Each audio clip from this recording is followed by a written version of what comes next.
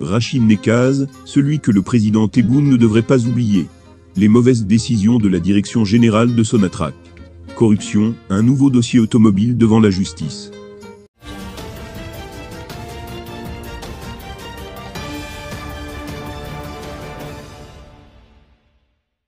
Rachid Nekaz, celui que le président Tebboune ne devrait pas oublier. Rachid Nekaz a été arrêté et placé sous mandat de dépôt à la prison d'El Arache depuis le 4 décembre 2019.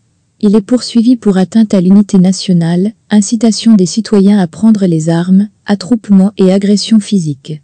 Agitateur et personnalité controversée, Rachid Nekas a été l'auteur de plusieurs vidéos partagées sur les réseaux sociaux, parmi elles une où il appelait au boycott des élections du 12 décembre et une autre où il expliquait que les Algériens ont le droit de prendre les armes et d'exécuter les députés favorables à l'adoption de la loi sur les hydrocarbures. Il faut dire que l'homme d'affaires originaire de la ville de Villeneuve-Saint-Georges, dans la banlieue parisienne a toujours été très actif sur les réseaux sociaux, ce qui lui avait assuré une certaine popularité auprès de nombreux citoyens algériens, malgré un programme flou et une approche fantaisiste. Ainsi, à la date limite du dépôt des candidatures, le candidat multirécidiviste aux présidentielles françaises et algériennes, une fois encore provocateur, surprend tous les Algériens en présentant la candidature d'un homonyme, dont il devient directeur de campagne, annonçant dans la foulée devant des journalistes médusés qu'en cas de victoire de celui qu'il présente comme son cousin, un poste de vice-président sera créé et lui reviendra, avant que son cousin ne démissionne, pour lui permettre de devenir chef de l'État. Par ailleurs, il faut reconnaître que Rachid Nekas, a été parmi les premiers à critiquer l'ex-président déchu Bouteflika et la corruption endémique du régime qu'il avait installé en 20 ans de règne. Il a également dénoncé les arrestations de porteurs du drapeau berbère et d'opposants politiques, tout comme il aura réussi à mobiliser des foules impressionnantes, prélude au Irak algérien. Rappelons que juste après la manifestation de Kerata, le 16 février 2019, un autre rassemblement avait eu lieu le 19 du même mois devant la PC de Cancla, en présence de Rachid Nekas venu collecter les parrainages en vue de sa candidature à l'élection présidentielle annulée du 18 avril. Sur place, et suite à une provocation du PAPC, des manifestants avaient arraché pour la première fois un portrait géant du chef de l'État et l'avaient piétiné. En cela, Rachid Nekas avait été, on peut le dire, et même si nous ne sommes pas d'accord avec toutes ces idées, un des précurseurs du mouvement de contestation pacifique des Algériens. Mais entre-temps, Nekas avait multiplié les dérapages. Quelques jours avant son incarcération, l'ex-candidat au présidentiel qui avait affirmé que le président Abdelaziz Bouteflika était mort et remplacé par un individu portant un masque 3D, avait annoncé, au début du mois de décembre 2019, qu'il allait déposer plainte contre le défunt Ahmed Gaïd Salah, et appelait même tous les Algériens à le rejoindre, pour déposer une plainte collective contre le chef d'état-major. Nekas accusait celui qui était l'homme fort du régime de violer l'article 55 de la Constitution, qui prévoit que chaque citoyen algérien pouvait jouir de ses droits civils et politiques et choisir librement le lieu de sa résidence et de circuler.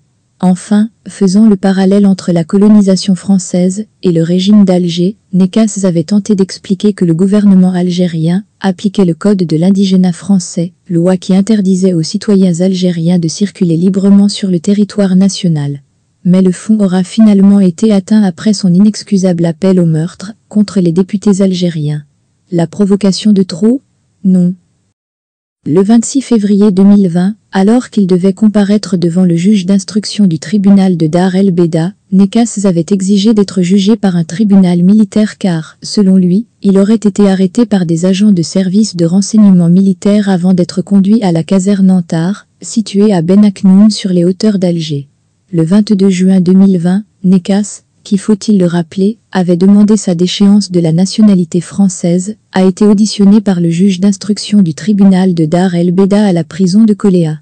La chambre d'accusation près de la cour d'Alger devait statuer sur la détention provisoire de Rachid Nekas le 12 juillet 2020, alors que plusieurs activistes et acteurs du Irak, dont des leaders à l'image de Karim Tabou ou Amira Bouraoui, ont récemment bénéficié de la liberté provisoire en attendant leur procès.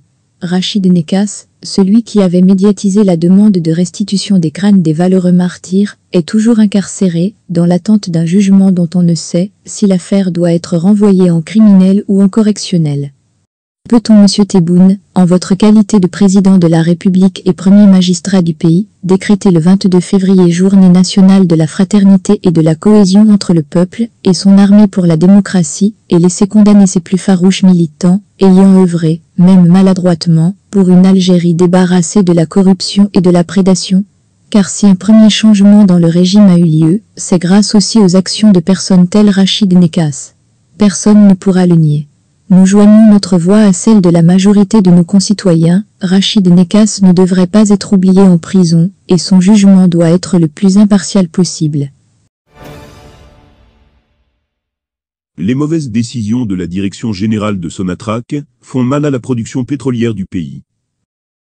C'est une véritable bêtise que l'actuelle direction générale de Sonatrach conduite par Toufik Akar, l'homme qui dirige la Compagnie nationale des hydrocarbures, depuis février 2020, tente de passer sous silence. Dans l'optique de rationaliser les dépenses de la compagnie en pleine crise financière provoquée par l'impact négatif de la pandémie du Covid-19 sur les marchés mondiaux des hydrocarbures, la direction générale de Sonatrach a immobilisé des machines de forage. Or, cette décision a impacté directement le rendement de la production algérienne du pétrole, le cœur économique du pays et principale source de devises du pays. En effet, Algérie Par a confirmé au cours de ses investigations qu'au moins 12 machines de forage ont été arrêtées au niveau des sites pétroliers du sud du pays. Ces machines sont utilisées par l'entreprise nationale des travaux au puits, ENTP, et l'entreprise nationale des forages, ENAFOR, les deux bras armés de Sonatrach, dans l'exploration et l'exploitation des gisements pétroliers au sud du pays. Selon Algérie Par, chacune de ces machines immobilisées depuis le mois de mai dernier nécessite la mobilisation de 300 employés. Sonatrach a contraint ainsi plusieurs centaines de travailleurs de l'ENTP et de l'ONAFOR de prendre un congé exceptionnel en attendant des nouvelles directives. À travers ces mesures, la direction générale de Sonatrach pensait bien faire, puisqu'elle économise des budgets de fonctionnement qui lui paraissaient onéreux en cette période de crise financière.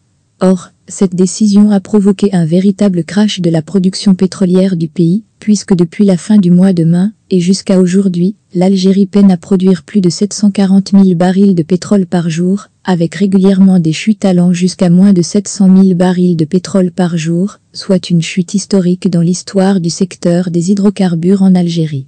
Il faut savoir que la Sonatrach utilise chaque année pas moins de 120 machines de forage pour exploiter pas moins de 300 puits de pétrole. La Compagnie nationale des hydrocarbures loue régulièrement des machines de forage auprès de plusieurs prestataires étrangers, notamment des partenaires chinois.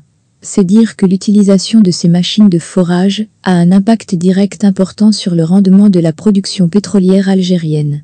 Faisant preuve d'une inconscience inquiétante, la direction générale de Sonatrach s'est attaquée à ce segment clé de la production pétrolière, alors qu'il y avait plusieurs autres départements où Sonatrach pouvait se permettre de faire des économies. À ce sujet, une réunion importante concernant la situation actuelle de la production pétrolière du pays a été organisée jeudi passé au siège du ministère de l'Énergie en présence du nouveau ministre Abdelmajid Attar. Cependant, le PDG de Sonatrach, Toufik Akar n'a pas jugé nécessaire de se présenter à la réunion en compagnie de Mohamed Simani, son vice-président activité exploration et production. Pour éviter de s'attirer les foudres du nouveau ministre, un véritable connaisseur du secteur, et lui-même ancien directeur du département de l'exploration de Sonatrach, Toufik Akar a préféré ménager son vice-président, dont les compétences limitées et les incapacités flagrantes à identifier les bonnes solutions aux problèmes actuels de la direction production et exploration, ne manqueront pas de mettre le PDG de Sonatrach dans une position humiliante. Corruption, un nouveau dossier automobile devant la justice. L'affaire du montage automobile semble loin d'être close. Un nouveau dossier, encore méconnu du grand public, est en instruction depuis quelques jours au niveau du tribunal de Sidi Mahmoud. Il porte un nom, le groupe Kerbouche. Un groupe très puissant, très influent aussi dans l'ouest algérien. Spécialisé dans l'agro-industrie et l'ingénierie de l'eau, il tire sa puissance et son aura de partenariat, qu'il a su établir, avec de nombreuses entreprises étrangères, et de l'attention toute particulière que lui prêtaient les anciens ministres actuellement incarcérés. Le père, PDG, et ses trois fils sont à la tête de nombreuses sociétés et filiales mais ambitionnent, déclare-t-il alors, de devenir la locomotive de l'économie algérienne. En 2013, ils annoncent publiquement leur intention de travailler sur un projet de réalisation d'une unité de montage de tracteurs agricoles, de phare et une école de formation de techniciens et conducteurs d'engins agricoles à l'ouest du pays. Le siège principal du groupe Kerbush est situé à la périphérie de Tlemcen, dans une zone à caractère touristique qui en fait rêver plus d'un. Les autorités compétentes donnent leur accord, le projet démarre selon les dispositions contenues dans le décret autorisant l'exercice des usines de montage automobile. Une liste de cinq investisseurs algériens, aujourd'hui tous incarcérés, est acceptée par le gouvernement. Le nom des Kerbouch y est ajouté. Le projet démarre, les premières importations s'effectuent, mais pour des raisons encore inconnues, le matériel demeure stocké au port de Benissaf. Le groupe n'échappe pas à la vague d'enquête déclenchée après avril 2019 le PDG du groupe, est auditionné par les services compétents. En juin de cette même année, le père et ses trois fils sont placés sous ISTN, interdiction de sortie du territoire national. L'enquête se poursuit durant de longs mois et suit le même cheminement que tous les dossiers identiques. Au niveau des instances judiciaires, l'instruction débute au cours du mois de juillet. L'affaire de l'automobile que l'on croyait close, avec le procès de Mayedine Takout, devrait ainsi connaître un nouvel épisode. À ce jour, tous les concessionnaires automobiles concernés par le système SKD-CKD ont été jugés. Mohamed Bahiri, Ahmad Mazouz, Larbaoui et Mourad Oulmi ont été condamnés à des peines de prison allant de 3, 4 et 10 ans. Dans le procès Takout, le verdict n'est pas encore connu, puisque le jugement n'a pris fin qu'hier, au tribunal de Sidi Mahmoud. La peine requise à son encontre, 16 ans, par le procureur de la République est la plus élevée qui ait été prononcée contre les inculpés concernés par le dossier automobile. Tous les procès qui se sont succédés ont abouti à la culpabilité des mises en cause et celle des anciens ministres et hauts responsables qui leur ont accordé des privilèges indus. Des privilèges énormes, comme celui de se voir octroyer des crédits sans limite, des terrains à ne plus en compter, des projets sans compter et des interventions de hauts placés, ex-ministres ou anciens chefs de gouvernement. Abonnez-vous à notre chaîne. Cliquez sur la cloche pour rester au courant de l'actualité algérienne.